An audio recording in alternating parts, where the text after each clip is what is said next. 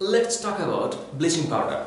So what is bleaching powder? We know usually that bleaching powder is used to kill germs in floors, basin and commodes or even bleaching powder is used to wash clothes. So how it washes? We know that bleaching powder sometimes it called anti-pigments. It called anti-pigments. So the question is how it produce. So we know that when the, the preparations of bleaching powder is that when calcium hydroxide and chlorine reacts, that means the chlorine gas is channeled with lime water in 40 degrees Celsius temperature. This is important. So 40 degree Celsius temperature when it is heated and channeled to chlorine gas, then it produces calcium chlorohypochlorite.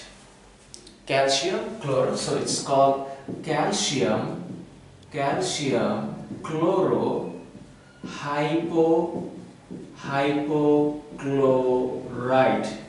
So this is bleaching powder. So what is the preparations?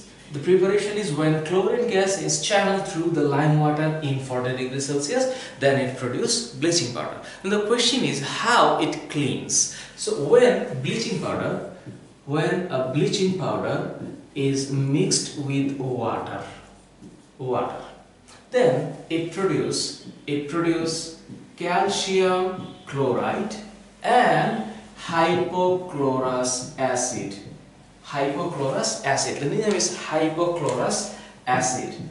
This acid, hypochlorous acid, and then this hypochlorous acid, hypochlorous acid breaks into hydrogen chloride and nascent oxygen.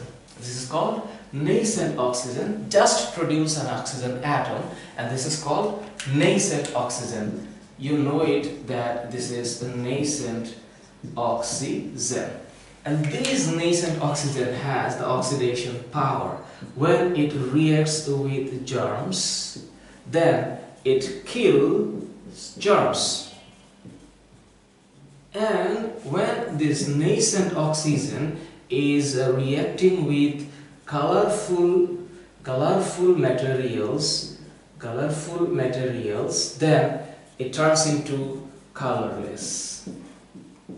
As because this nascent oxygen has the power to kill germs as well as to wash the cloths. So that is why it is known as anti-pigment. So very shortly what we learn that bleaching powder is being produced by channeling, uh, uh, uh, channel down the chlorine gas with lime water. This is calcium hydroxide. So when calcium hydroxide is reacting with chlorine gas in 40 degrees celsius temperature then it produces calcium chlorohypochlorite and of course water will be produced. So this is known as calcium chlorohypochlorite hypochlorite. So the name should be uh, remembered calcium chlorohypochlorite and then so we usually mix water.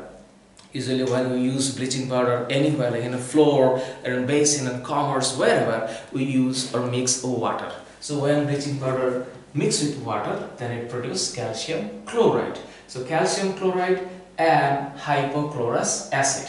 So these hypochlorous acid will breaks into hydrogen chloride and a nascent oxygen and this nascent oxygen will kill germs and as well as I mean, make the, uh, the cloths wash. So the colorful materials will be colorless after mixing with nascent oxygen. And shortly, this is the cleaning process by bleaching powder and the preparation of bleaching powder. I hope you know the process and the cleaning process of bleaching powder. So see you in the next tutorial. Stay tuned. Take care. Bye.